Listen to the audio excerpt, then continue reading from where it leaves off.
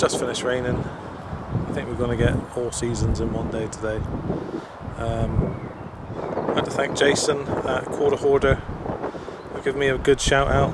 Um, thanks very much. Didn't have to do that. I was quite happy to uh, send you the coins. I'm a fan of your channel and um, couldn't think of anybody better to send them to. I'm glad you got them anyway. Um, uh, just walking down to the field that I want to detect and I just had a little swing in this one. Usually it's full of sheep and usually full of cow tubes. Just dug one cow tube. But the uh, second signal is quite interesting. Got a 78 um, on the AT Pro. Out with the AT Pro and the Ace 250 um, I'll turn around and, and show you what's uh, what I found in the uh, in the second hole. So just down in there, if you can see, hopefully we can. Uh,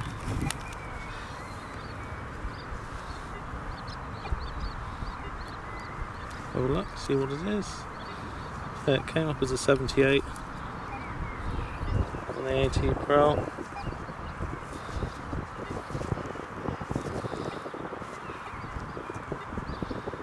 and I have no idea. Alright, let me give that, give that clean off and uh, we'll have a look. Right, well, it appears to be uh, half of a locket. There was a broken bit of glass that came out from the inside.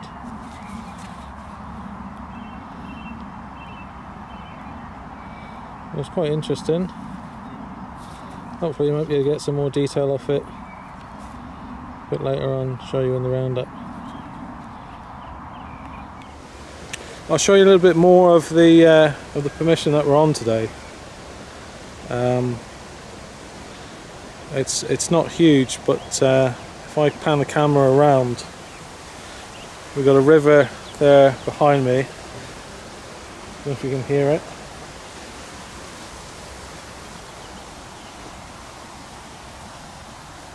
She's out digging up cow tubes.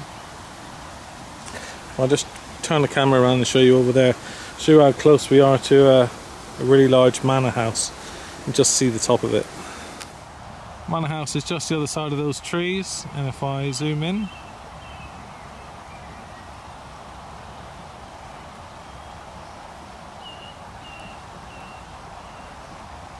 So that's how close we are. This is a pretty big field. The building over there used to be stables. What we've been finding uh, lots of old coins up around there. there used to be an old footpath. That's now uh, a private house, which is really nice. We've got some nice animals where we are.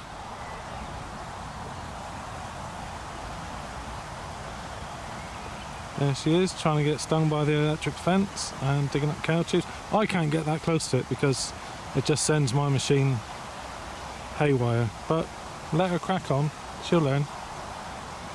Yeah, cow tube. Is it a cow tube? Is it electric fence? Cow tube, electric fence.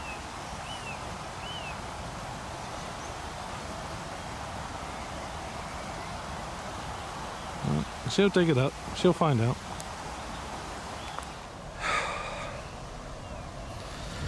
Right, well the other half's walking towards me. She's got a rather smug look on her face, so uh, no doubt she's found something. Oh, maybe it's a bigger cow tube than the last lot.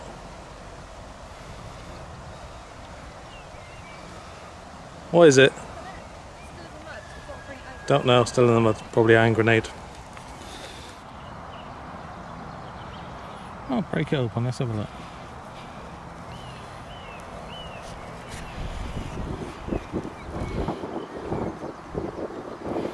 i don't know, a coin of some description.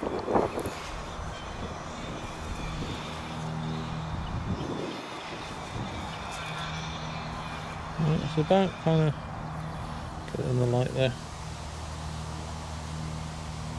It's about half penny size. Right. Not bad, first coin of the day. See if we can clean that one up and uh, get something off it a bit later. Right, I've come across into the uh, into the big field, worked my way across from that one. Uh, half decent signal. Looks like I got my first coin today. It's just starting to rain. It uh, can't make its mind up today, but let's have a look in the hole. There we are, just down in there. Let's dig them out.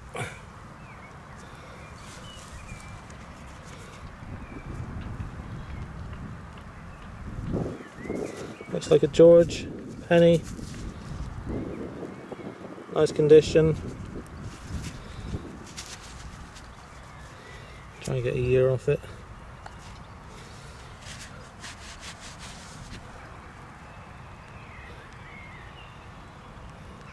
The years were years worn quite smooth there. Looking in the wrong place. Oh, there we go. Hang on. I was trying to shout at the camera because it's uh, it's raining. Looks about 1920. Really nice condition. Ideal. See you at the next. We're back on our 40 acre permission today and uh, I'm in the bigger field. It's not easy going, everything's kind of spread out so it's a case of just wandering in, see if you can find a, a cool spot. I uh, just want to say thank you to all the people that have subscribed lately, the last few days, and I've, uh, I've now managed to get me into double, triple figures. I'm now over 100 subscribers, which is amazing. I, I never expected to to get anywhere near that. Um, I've had some really nice comments, and I'd like to say hello to Sam in Australia, Dee Dee, I think she's in Oregon, uh, Big Moose, he's in America, um, Luther, uh, so many. Um, hopefully, I can. I'll have a look later and see if I can remember a few more names. But lots of nice people. Jacob at Chaos Paddlers, um, really nice guy. Have all left really nice comments. Uh, thank you for subscribing and, and leaving nice comments.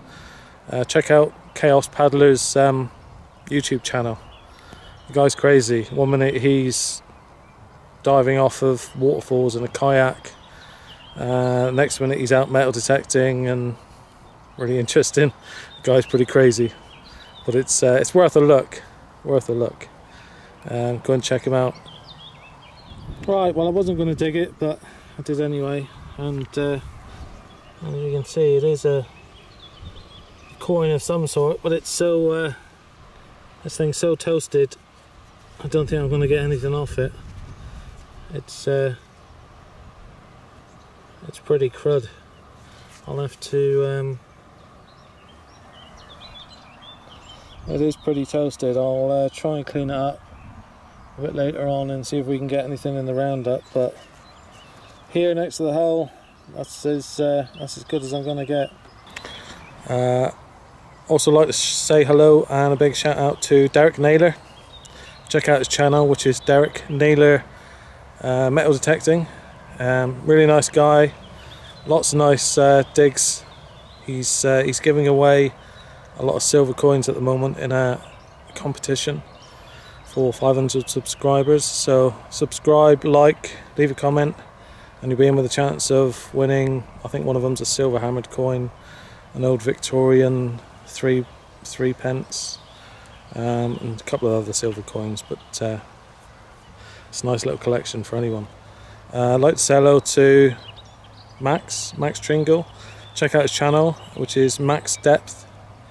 Uh, nice guy. He, he's up in North Devon.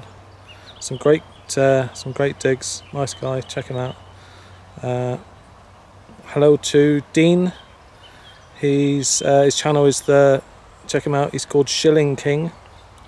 So shilling as like the old English shilling coin and king. Um, nice guy. Uh, I think he's over in East Devon somewhere. Lots of nice digs.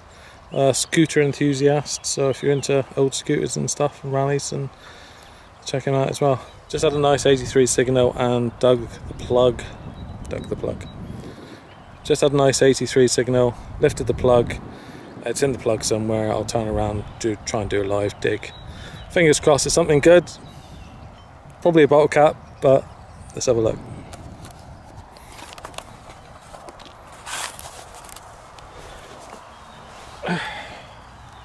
Right, there we are, out with the AT Pro again today. Nice machine. Uh, it's in there somewhere. Let's get the pinpointer.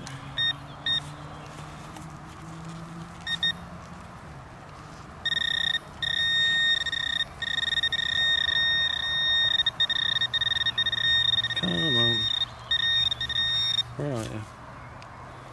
Hang on a sec. Right, let's get me stabber, me stabbing implement out. Hopefully it's something good. No my luck, it's a bit of junk. Oh look at that, nice bit of junk. Let's have a little look. What is that? What is that? Is like that is either the biggest ring pull in the entire world. Oh my god. What the hell? That that's ridiculous. What the Looks like a ring pull.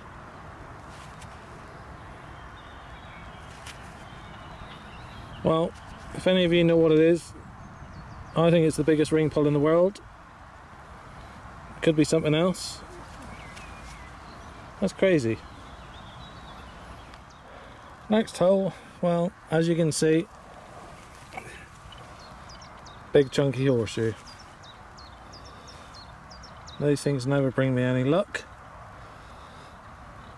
They did, I'd be laughing. Anyway, let's carry on. Right, well, quick roundup, and we've got a 1920 George V penny, we've got an 1861 Queen Victoria halfpenny, we got what appears to be a George III, uh, might be a halfpenny, might be something else, but you can see the uh, the bust facing that way.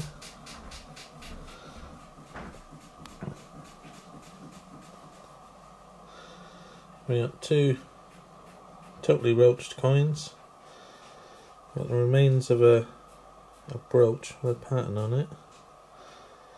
Nice uh, pewter button. We've got a silver locket. You can see the there are some hallmarks in there. And that's the glass that would have been on the front of it, so it probably might have had a, a photograph or something inside.